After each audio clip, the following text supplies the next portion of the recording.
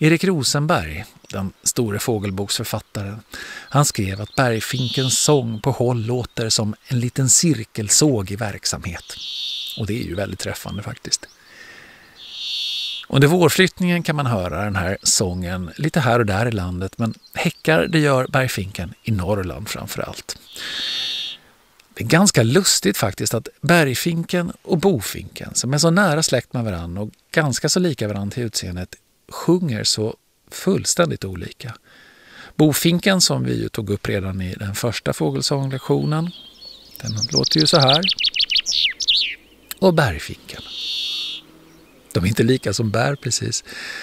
Eh, däremot är det inte särskilt långt från bergfinkens sång till grönfinkens. Det är lite av träslöjdsverkstad här också kan man tycka. Lite cirkelsåg. Eh, kanske att det är lite mer sug i grönfinkens version av sågandet. Och kanske att bergfinkens läte, som kommer här igen, är lite torrare på något sätt än grönfinkens.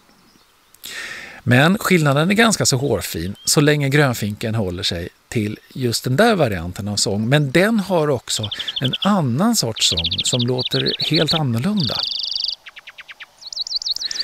Det här är alltså också grönfink. Men den här sången är mycket mer melodisk.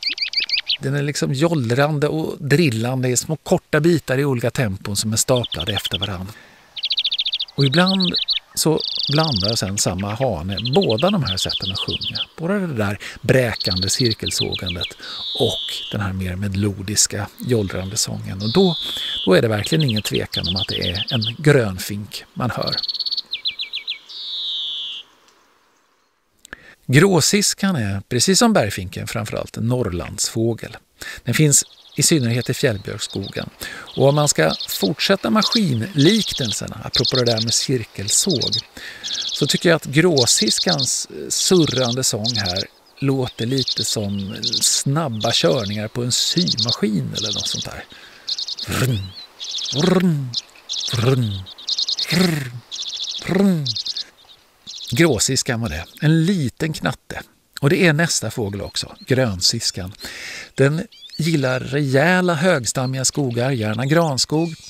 Eh, och där högt uppe i en trädtopp sitter den och sjunger en sång som är ganska chattrig och livlig och varierad så till den grad att det faktiskt är lite svårt att karaktärisera sången. Vilket kan vara en karaktäristik i sig faktiskt. Men en sak som man kan lyssna efter är ett återkommande och typiskt inslag som brukar beskrivas som ett kiknande. Det är som att sången plötsligt går i baklås fullständigt och ut kommer något slags missljud bara mitt uppe i alltihopa. Där hade ni det. Grönsiska alltså, en liten intensivt sjungande skogsfink. Och så steglitsen slutligen, som man framförallt hör sjunga i lummiga lövskogar och parker. Den har fått sitt ganska lustiga namn av det karaktäristiska locklätet som kan bokstaveras lite grann som till exempel tickelitt eller med lite god vilja stiglitz. Jag tycker att det där lätet har en väldigt typisk lite metalliskt skvättande klang som gör att när man väl fått in det där i systemet liksom, då reagerar man direkt när det flyger över en stiglitz. Och i sången då så används det där typiska locklätet väldigt frekvent och blandas med chattriga och drillande läten.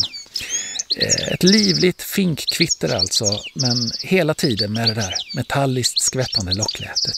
Tiglitt, tiglitt, inslängt i mixen. Där har ni steglitsen.